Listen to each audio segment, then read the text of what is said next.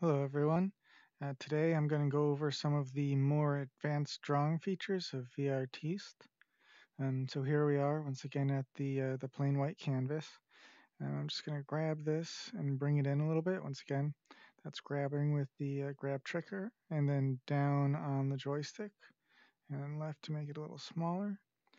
And to rotate, once again, I just press the uh, A button here and then it frees up the rotation. Um, just a note, you only need to press the A button to toggle it. You don't need to hold it down. You do need to hold the grab trigger down though.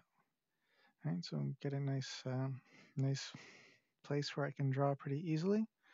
And, and then I'll come back over here and I'll grab the pencil and then again down on the joystick to bring it in and left to make it a little bit smaller and more manageable size. And let's just draw something just to see that it still works. Oops, that's a pretty lousy drawing. Um, you note over here, if I press this uh, bottom button, I think that's the uh, X button on the left-hand controller, it undoes it. So it's really handy. So draw something that we didn't want again, just press undo and it gets rid of it. So let's draw something that we do want. Let's draw, oops, smiley face there. There we go. So that's the uh, basics of drawing once again with the uh, undo button thrown in there. You can also undo by going over here to your left and clicking on the undo button on the setting shelf. So there you go, it does the same thing. One thing to note about undo is that it affects a lot of things, but not everything. Um, so you might want to keep that in mind and try it out on some test projects before you rely on it for anything really important. So we can obviously undo drawing. We can also undo moving things. So I just move this over here, click the undo button, and it goes back to where it was. Um, this also affects pretty much everything that you can move at the moment. This might change in future versions, but that's something to be aware of. It doesn't affect color changes, however, so if I press undo now and it gets rid of something that I drew. Um, there's no way to redo, so be careful. Um, you know, if we want to put that uh, line back, now we got to draw our own line all over again.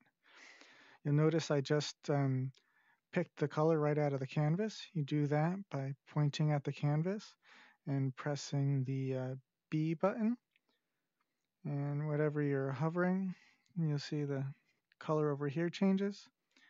You'll pick the color right off of the canvas. Um, one thing to note is that it picks the average color based on the brush shape. So if we make this big color, we get this kind of whitish gray. If we make this really small and make sure it's right in the black line, we get the this nice black. You can do that from averaging colors. So we get this gray, and it can come in handy in a lot of places. So let's go back to the black and we'll draw our smiley face all over again. If you want to be sure that you've got pure black, you can come all the way over here to your color wheel and you've got on the quick palette down here, you've got the default colors of black and white. So we can pick black and make sure we've got it definitely pure black. Again, erasing by pressing the A button on the right hand controller, and now we can draw the line. And there it is. One thing to note about this quick palette is you can add your own colors. So now let's say we want to start coloring in the smiley face. We'll go down here to uh, make a new layer underneath so it keeps our line. And we'll pick this yellowish color because smiley faces are usually yellow. And since we'll probably need this color again, we can click this plus button to add the color to the palette. Now we come over here and start drawing. Just like that. Now let's say we come over here and add a highlight, or shadow rather, it might be a little easier. Lower the opacity, we add a shadow over here like this. But now let's now if we want this original yellow color, we've got two options. We can try and sample from the canvas, or if that's going to be difficult, we come over here and click on it, and now it goes back to our original yellow color. And we can touch this up and lower the opacity. Do, do, do, all right, and now we've got a nice shadow. Obviously, we can make this better by spending more time and effort on it, but I think it gets the point across. Let's see, so this is the quick palette. It's really handy. It only stores the, uh, the color, it doesn't store the opacity. So when you click on it, just pay attention because your opacity goes back all the way up to full opacity. This is really handy if you need pure white or pure black because trying to mess with the slider can be a little tricky. If you get close to the end here, it jumps to the jumps to the top or the bottom. So that's useful, but um, the quick colors can be really handy for just jumping to that. And let's see. So if we come over here a little bit further, we have our brushes again. Remember the brush selection. I'll go into detail on some, some more of them. Um, one really useful brush right here is this fill brush. So let's say, oops, let's come back over here. And there's some graphical artifacts. We can worry about those later. If we come down to here, um, you see it draws this X across the whole canvas. And that's because it's going to fill it in. Let's pick this blue color. And it just fills the whole canvas. That's really nifty.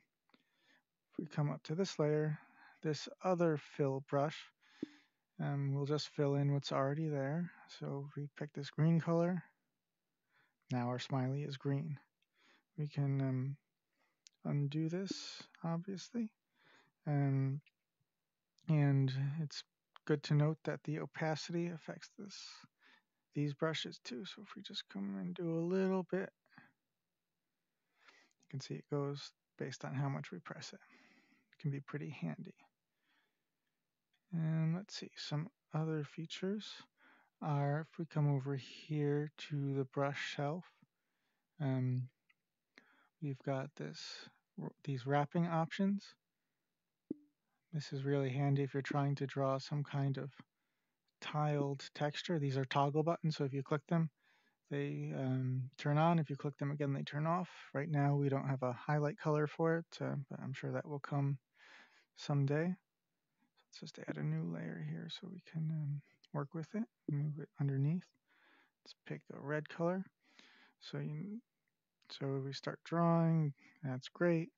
Now you'll notice as we get to the edge, it wraps around and you get the draw all the way on the other side.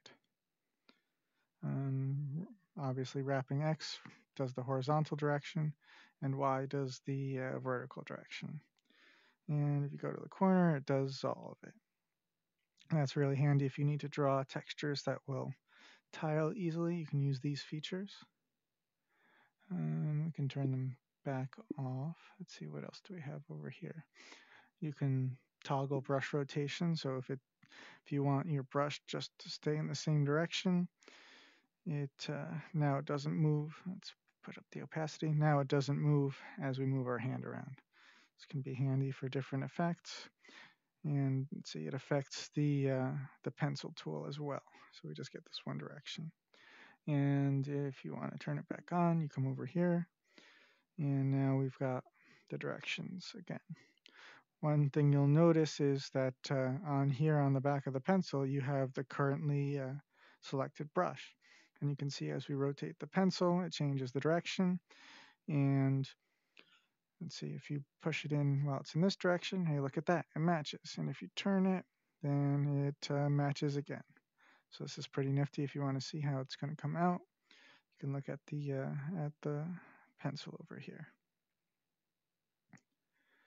Um, let's see, this is more useful for drawing on 3D models, but it just, no, it doesn't do anything right now. Um, you can toggle the rotation lock from the button. See, it's locked again. And now it's unlocked. This is useful if you don't have a, a, uh, controller with buttons on it. If you just have something like a Google Daydream or something that you can really only point that will let you unlock the rotation. And same thing for increasing decreasing brush sizes. Um, so that's, um, these are all just different kinds of brushes. You can experiment with them and see which ones you like the best. You can get lots of different effects. Um, one thing to note about these brushes is that some of them, like this, uh, the default smooth brush, are connected. So if you draw really fast, it draws a straight line. But some of them, like this other one, this other circular brush, are not connected. So if you draw really fast, you can see there's gaps between them. Um, these have different effects, so you can try it out and use the ones that uh, you like the best for whatever you're trying to draw. And so that's the brushes. If you come over here a little bit farther, we've gone over some of the pencils. Um, there's also these really interesting pencil shapes. Um, they're kind of fun to play with. You can see that they put um, the brush everywhere that there's this the pencil tip so you can um,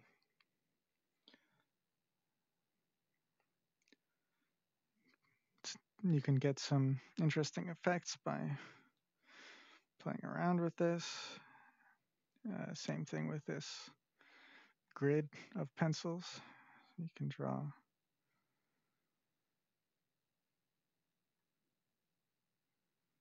just like that. And you can get some cool effects by doing different brushes and different opacity levels and things like that.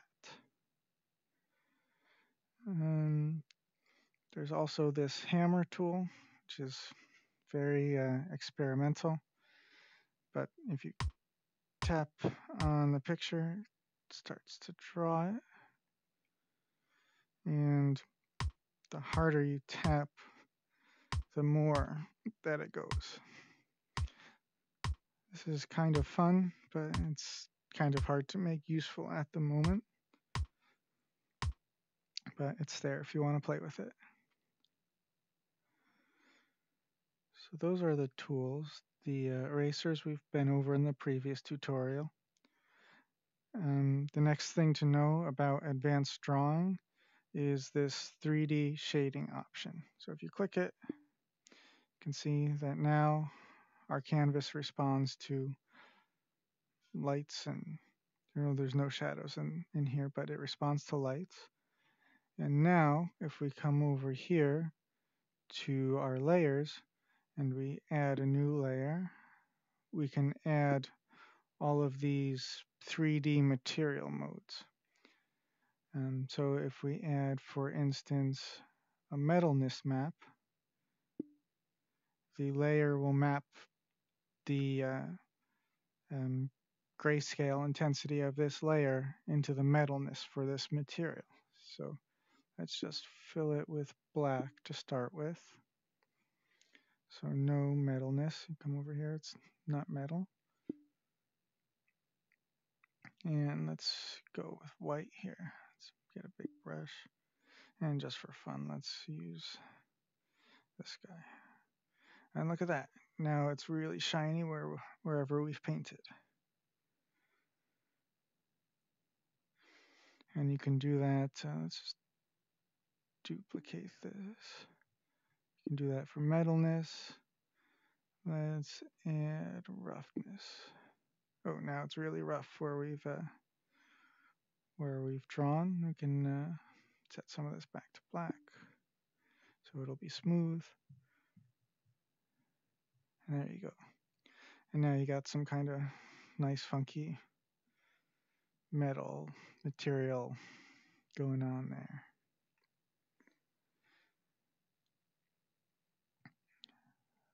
that's uh, those are most of the drawing options. Some other things that are useful are if you come over here, you can change the project name. The default is just VARTISTE project. Let's call this tutorial.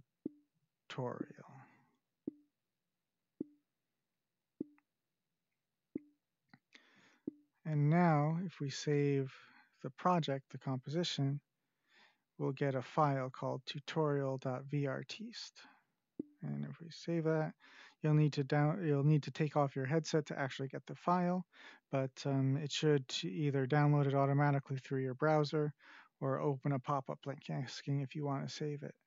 Um, once you save it, to load it again, you just uh, go to your file browser and drag and drop the uh, file um, back onto this browser window.